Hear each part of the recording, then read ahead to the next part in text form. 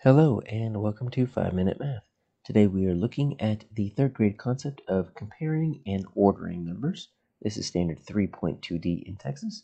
And we'll be using item number 13 of the 2017 STAAR test.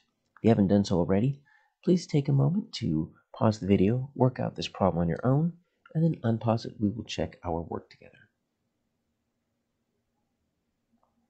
So we are looking at the land area of five different states Arkansas, Louisiana, Alabama, Oklahoma, and Mississippi. Each of these areas goes up to the 10,000s place. They're fairly close to each other, so we're going to have to compare these. And you notice that each of these uh, answers has either a greater than or a less than symbol. But we need to watch before we start working this out. Look at how the question is asked. Which comparison of the two of two land areas is not true, which means three of these are going to be true. We need to find the one that is not true. So that's going to be the little trick that we're working on here. So let's look at, let's just look at A. We'll just start there. And what I want to do is instead of uh, writing the land area of Alabama, I just want to find this land area of Alabama. So Alabama is right here. So we're just going to write 50,744. This right here is a greater than symbol. I'll tell you how I know that in just a moment. Then the land area of Mississippi, so that's 46,000 is right here. 907. I know that's a greater than symbol. That's a less than symbol. I just keep it in, uh, in mind that the less than symbol can actually be turned into an L that's kind of rotated a little bit. So it cannot be turned into an L, it's a greater than symbol.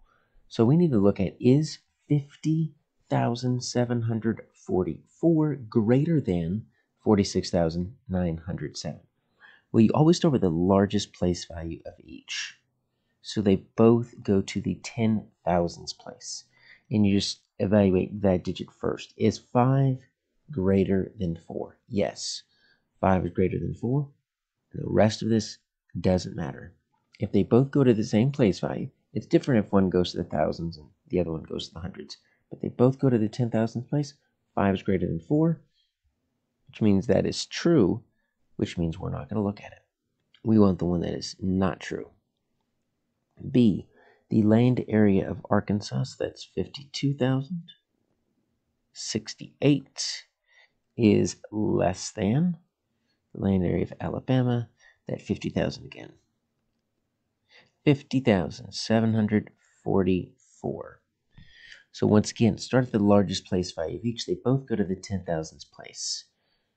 5 is equal to 5, so we're going to move on to the next one. 2 and 0 is 2 less than 0? No, actually, 2 is greater than 0. So I'm thinking this might be the one. Because this does not work right here. 2 is not less than 0. 2 is greater than 0. I think it might be B. But you don't just circle B. You disprove C and D.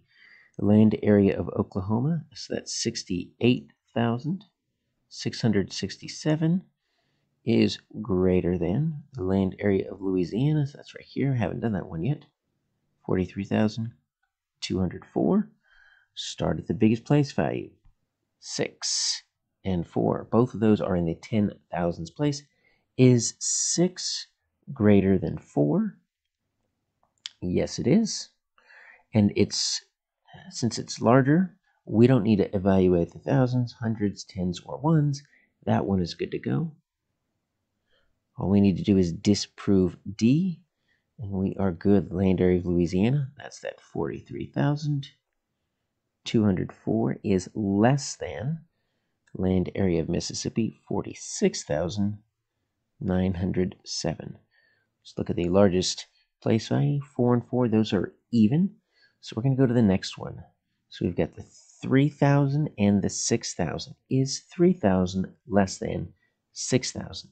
Yes, it is, which means we don't look at the rest, which means D is incorrect and B is the answer.